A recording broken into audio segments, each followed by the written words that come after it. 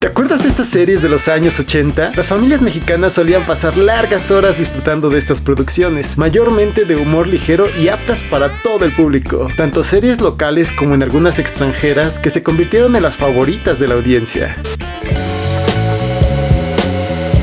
César Costa, quien ya era un ícono musical desde los años 60, causó gran impacto con esta serie que seguía la vida de un viudo con tres hijos adolescentes, Alejandra, Miguel y Cesarín, interpretados por Edith Márquez, Gerardo y Luis Mario Quirós, respectivamente. La trama giraba en torno a los retos de criar a sus hijos siendo un papá soltero. Este señor ahí, como lo ves, es muy buena onda. Sí, nada más no lo pesques de malas porque entonces sí.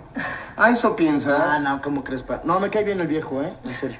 Bueno, nosotros nos vamos al cine. ¿Ustedes gustan? Bueno, hasta luego a todos. hasta luego, Sí, señor. Gracias. Hasta luego, que se diviertan. Gracias, papá.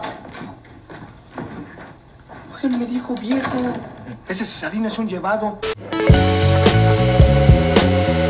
Este programa mostraba a un grupo de jóvenes de preparatoria, cuyos personajes hacían referencia a la UNAM, con la porra de la máxima casa de estudios. Los cachunes, a través de sus historias, retrataban las vivencias de los adolescentes, como enamoramientos, juegos, estudios y hasta problemas familiares, con una clara influencia de la película Vaselina, adaptada al estilo mexicano. ¿Qué pasó? ¿Qué onda? ¿A poco ya acabaron de estudiar? Hijo, pues claro, aquí el tío de Aida nos explicó todos los problemas. Estaba solo pensando.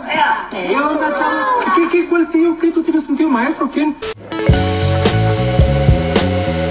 Bajo la producción de Enrique Segoviano, este programa logró enseñar a los niños sobre ciencia, arte e historia a través de personajes como Pistachón Zigzag, Mafafa Musguito y Mimoso Ratón, quienes eran animales de laboratorio humanizados. Junto al profesor Memelovsky, luchaban contra el villano Ecoloco, quien siempre intentaba contaminar el planeta. ¡Hey, Ya no tienen que trabajar en los espejos. Váyanse de vacaciones ustedes también. Es cierto, somos libres de hacer lo que queramos. Entonces, ¿qué haremos ahora? Pompín Iglesias interpretaba a un jefe de oficina rodeado de empleados y secretarias con vidas cotidianas que trataban de hacer más amenas las horas laborales. El personaje principal era Lupita, quien se enfrentaba a situaciones típicas de cualquier oficina burocrática.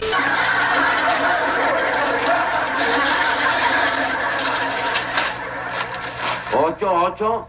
Sí, sí, sí. ¿Cuatro? Ocho, ocho, tres. Ocho, cuatro, tres, 844. 844. Ah, oiga, oiga, ¿por qué no me dice nada más el final, jefe? ¿Sí? Cinco. ¿Cinco? Digo el final, ¿no? Es que yo lo que. No, señorita, a mí no me dan usted instrucciones. Yo tengo mi sistema, y mi sistema es mi sistema, es mi sistema, ¿no? Buenos días.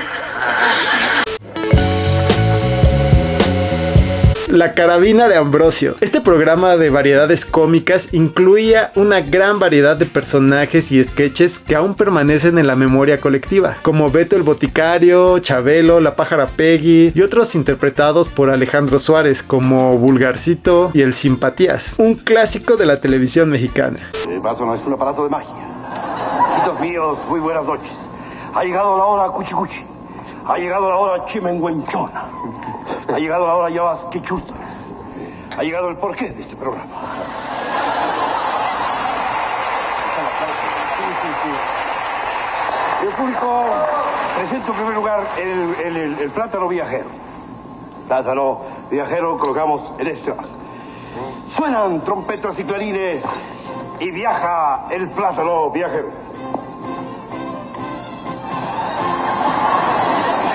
Está buscando el truco. Mal, está mal colocado el plátano viajero. Ahí va, venga, venga. Ah. Muchas gracias, muchas gracias. Mi jirafa. Thank you.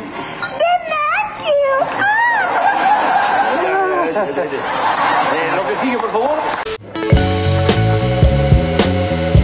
Similar a la carabina de Ambrosio, pero con un elenco infantil, los pequeños parodiaban a personajes célebres de la época, desde presentadores de noticias hasta cantantes y actores. Además adoptaban historias clásicas como Pinocho y Anita la huerfanita, con una frescura que encantaba tanto a niños como a adultos.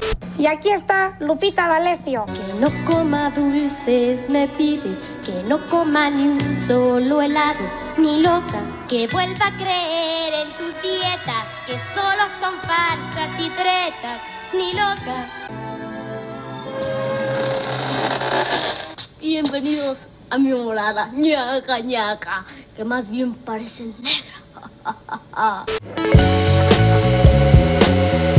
Héctor Suárez utilizó sus personajes para realizar una crítica política en ¿Qué nos pasa? Un programa donde abordaba temas sensibles en una época sensible donde la censura era una amenaza constante.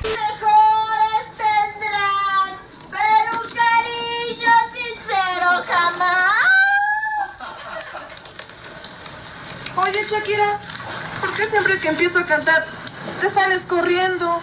Ay, Eugenia, no quiero que los vecinos vayan a pensar que te estoy pegando. No tienes ninguna vocación. ¿A poco canto tan mal? Pues sí, e- ese tiempo que, que- que pierdes cantando, deberías de aprovechar y invertirlo en trabajar. Ay, Eugenia, de veras, por eso me quiero ir ya de aquí, Eugenia. Shakira, no te vayas. No me voy porque sé que me necesitas. Me voy yo y se derrumba este hogar. Se derrumba este hogar. Sí, Shakira. Concéntrate a trabajar. No, no, el trabajo se hace en silencio, Eugenia.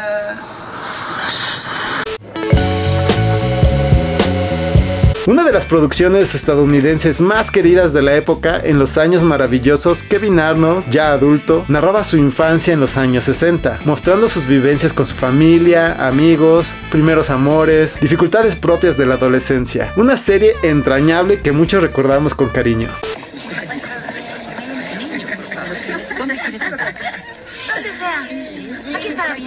La cafetería de una escuela secundaria suburbana es como un microcosmos del mundo.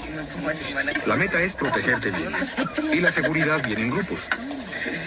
Está el grupo de riquillos, el grupo de inteligentes, el grupo de asesinos y por supuesto en aquel tiempo el grupo de hippies. De los programas emblemáticos de los 80, todos soñábamos con tener un coche como Kit, el vehículo inteligente que Michael Knight conducía para luchar contra la injusticia. Con una inteligencia artificial avanzada, Kit podía hablar, tomar decisiones y hasta expresar sentimientos, lo que hacía de este programa una mezcla perfecta de tecnología y aventura.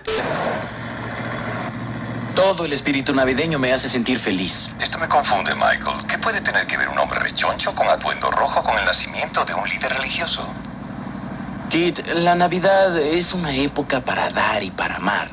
Y San Nicolás es el más espléndido de todos. Las caricaturas más populares de los 80, según una encuesta telefónica de la consultora Mitofsky a mexicanos mayores de 35 años, las más populares fueron Los Picapiedra, Pantera Rosa, Tommy Jerry, Don Gato y su pandilla, Heidi, Correcaminos, Candy Candy, Los Pitufos, Mickey Mouse y Massinger Z. Y en cuanto a telenovelas, las más populares de acuerdo a Mitofsky fueron Cuna de Lobos, Quinceañera, Los ricos también lloran, Rosa Salvaje, Colorina, Cadenas de Amargura y Juan de Dios, Corazón Salvaje. En aquellos tiempos sin internet ni plataformas como Netflix para entretenernos, la televisión abierta era nuestra gran aliada. ¿Recuerdas algún otro programa de los 80 que te haya gustado? Déjanos tu comentario. Mis amigos, hasta aquí el video de hoy, espero que les haya gustado. Yo disfruté mucho haciéndolo para ustedes. Si te gustó no olvides darle like y suscribirte, me ayudarías muchísimo. Señores, soy Jorge, nos vemos en la próxima. ¡Chao!